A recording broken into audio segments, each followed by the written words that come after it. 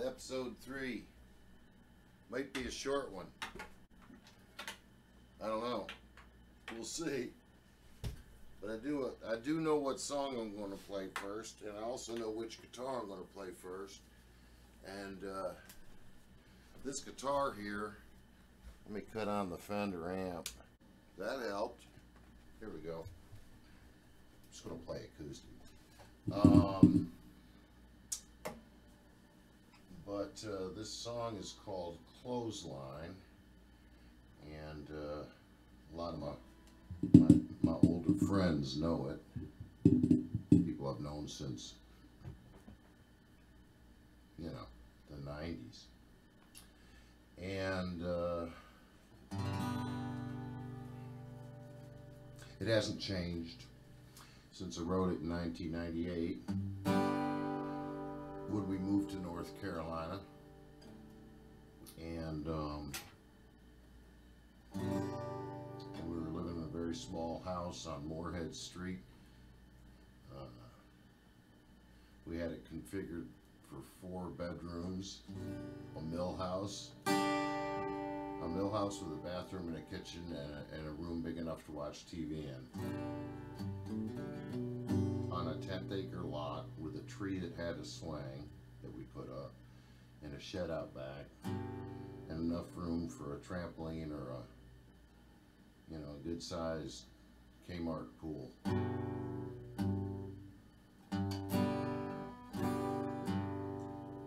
We were living pretty simply. Oh, and we had a really excellent front porch.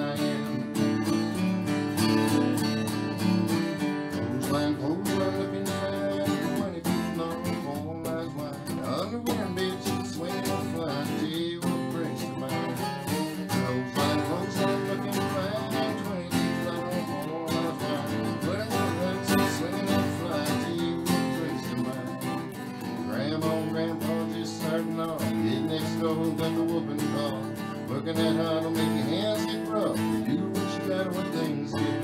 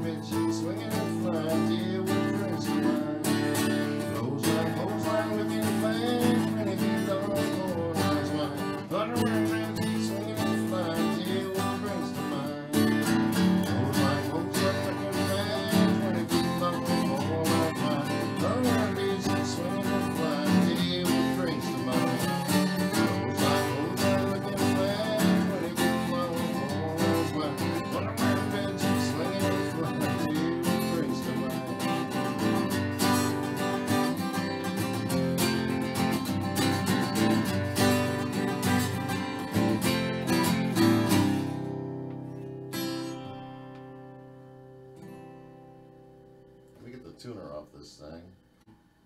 I wrote that song thinking about my grandparents and hanging clothes outdoors after after they'd spun around in this old this was like in the early 1960s. They had this old barrel washing machine and on the back of it was one of those things with the two wooden rollers that they would always warn you that if you got your fingers in there, you know, you were done for. And I think Stephen King even wrote a scary story about one of those, one of them things. But I do think sheets smell better when you let God dry them. Um, for sure. We have a clothesline out there on the deck that runs from the deck all the way out to that giant pecan tree. And uh, the only place you can reach the clothesline is on the deck because the drop, deck drops off six, seven feet. Uh, you got to go down steps to get off it, but it's it's anchored way the way the hell up in that pecan tree out there, and you can reel it back and forth. You know, like those old pictures in the cities between the apartment buildings. It's kind of like that. And I guess I was also thinking about when we lived in Indiana. For some reason, I seem to remember one of those spinning four-sided clothesline things that was kind of on a post set in concrete that would spin around, and I guess you could hang two things this way and that way and that way. You kind of have eight different little places to hang your stuff on. I think we had one of them. Uh, this guitar, uh, this Takamine guitar, I do not know what the model is. I don't know how well you can see it, but if you look at that headstock, that looks a whole mess like a Martin, don't it? And I, I remember over the years I've been hearing stories about the the Martin Takamine lawsuit. lawsuit. It says on here this company was started in the 60s and I'm pretty sure this guitar was bought probably between 78 and 81 by Tina's older brother when they lived down there in uh, it's a great guitar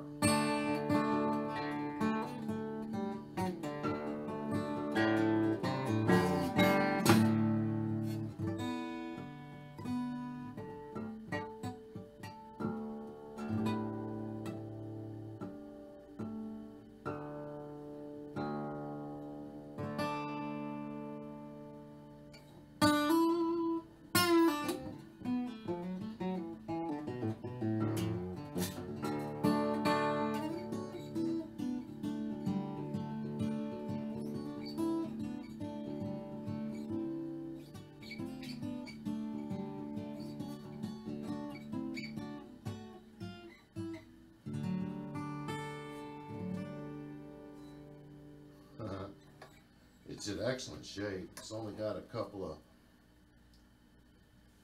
marks on the back of the neck where it was leaned up against the table. You know, how many of us haven't done that? And, uh, no, you know, some extremely not noticeable blemishes to anybody that isn't actually holding it. Doesn't have any buckle marks.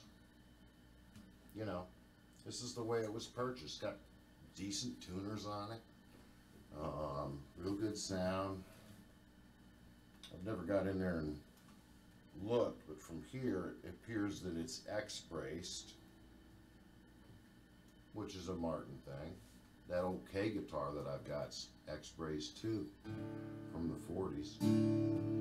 Um, but here's the story of this guitar as best I can tell it. So, um, so uh, way back in the in in the late 70s or somewhere around 1980 or so, Tina's older brother Sam, who's one of them guys, he's he's about a year older than her. He's a couple years younger than me. He's around 60. but anyway, um, he got this guitar, new, when they were living down in uh, Louisiana. This kind of guitar here, and. Um, you know, it's a good sounding guitar. And Sam's the kind of guy that you want to have at the campfire because, you know, as long as there's a guitar and a pick and beer and a light and someone to listen, he could probably keep going with just banging out, just, just banging out these excellent sing along versions of all kinds of things. When we get together, we'll like start playing tunes by the band, you know, The Weight or Cripple Creek or something. Um, but anyways, uh, so he had it, and at some point it passed into the hands of Tina. I think she might have bought it from him, and um, and she had it for a long time. And I think at some point he wanted that back or wanted to buy it back, and she was like, no. And uh, so, anyways, you know, she grew up, got older, married, had kids, you know, all the while, you know, she was a poet when she was younger and, and, and uh, had a lot of, you know, lyric potential already in those uh, poems, you know, and she's learning how to play guitar. She's uh, mostly uh, uh, use, uses a pick, but there's some things where she gets in there and does other stuff. She's generally down here by the nut, you know, when she's writing tunes. She's she'll t- she'll be the first one to tell you that you know she wishes she could jam with people and stuff, but she's just got this. You know, it's kind of like you know the argument about you know do you need 16 crayons in a box or do you need 160 something crayons in the box? You know. I'll take 64. Um, but she'd probably go for 16 or 12. Just, you know, I can I can add something to to the E chord if I need to mix my orange and yellow together, you know, or whatever. But um, so she got it, and she starts doing tunes, right? You know, kind of putting some of her stuff to to music and whatever. And before you know it, she's out doing open mics and you know, on occasion and getting together with friends and stuff. And um, and then uh, things get, uh, God, I hate to say too much. things get unbearable. How's that? How's that? Just for one word, uh, between the two of Tina and her husband, and they uh, they end up separating. And um, and she's in a pretty tough spot with these two young kids, you know, who are, you know, you know, I don't know, kindergarten, first grade, one of them, and the other one's in like fourth and fifth grade, and that's a those are years where you need to be on your game, and uh, you know, having having the moneymaker take off, basically disappeared for two years and ended up in Mexico. He's not Mexican, but that's where he was. Uh, but anyway, so she was on her own and having a pretty hard go, and at some point, uh, she had to sell her Takamine. I don't know whether she went into a music store or a pawn shop or just sold it to somebody. Um, but she had to part with it, and this is a long time before I met her. Okay? And so she continues on with her life, and she's raising her kids and so on and so forth. And at some point, yeah, I reckon she's borrowing guitars from people and at one point she was dating a guy that worked in a music store. And, um, you know, and then we met around 96, 7. And, um, you know, this guitar was long gone at that point.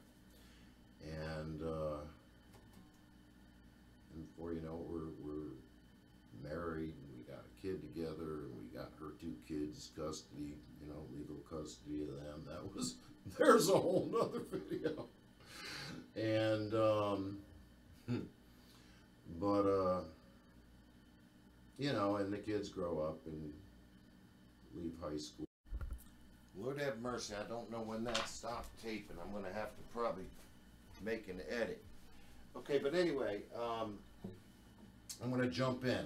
So last I knew I was talking about Mike had contacted me when he was over in the Middle East. He was probably in Iraq. And, and he asked for a picture of this instrument because he knew there was a picture of his mom playing this guitar in the woods. And we found a picture and I took a picture of the picture. I mailed, you know, I emailed it to him. Well, he gets in touch with me a while later, a few months, I think it was, and he says, expect a package. I'm sending it to mom for Mother's Day. I said, what is it? And he said, I found the same model guitar she used to have. Looks just like the one in the picture. Somebody in Iowa was selling it on, I don't know, eBay or something. And, um, and it's coming. So what I want you to do when it gets there is, um, I, I, I, I want you to uh, take a picture of her expression when she opens the package and send it to me. I think she'll like it. I said, sure, I'll do that, you know. So it arrives.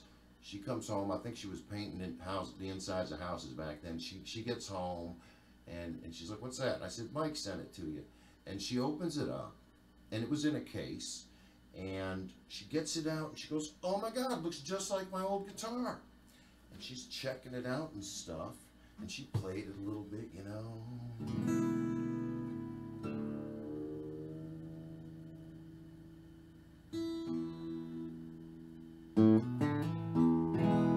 And she said, oh, it sounds nice, you know. And so she handed it to me and I checked out the neck and everything. And I'm like, wow, you know, it's in great shape. Even these strings are pretty good, you know. And as she continues to examine the instrument, she starts getting this quizzical look on her face. And eventually she realizes that the marks on the back of this neck are familiar to her, and as well as a couple of other marks on it in certain places. And she goes, I really think this is the same guitar that I used to have. And then she called her brother, and she described the blemishes that are on it to him. And he said, yeah, that sounds like it. So somehow or another, you know, by the grace of fate and being in the right place, looking for the right thing at the right time, Michael, who always felt bad that his mom had to sell her guitar in order to feed him and Lindsay when they were little kids. So this is like 20 years later. That just that just sat on his heart all them years, like what it took for her to part with that instrument she liked so much. And somehow he got, he said he found it and sent it back home to mom. And uh, it's an amazing story. I, I love it. I should also mention what Tina was born on the day, I shouldn't say the year, February 9, the day that the Beatles played on the Ed Sullivan show. So she's cool in a host of ways, and that's just another one.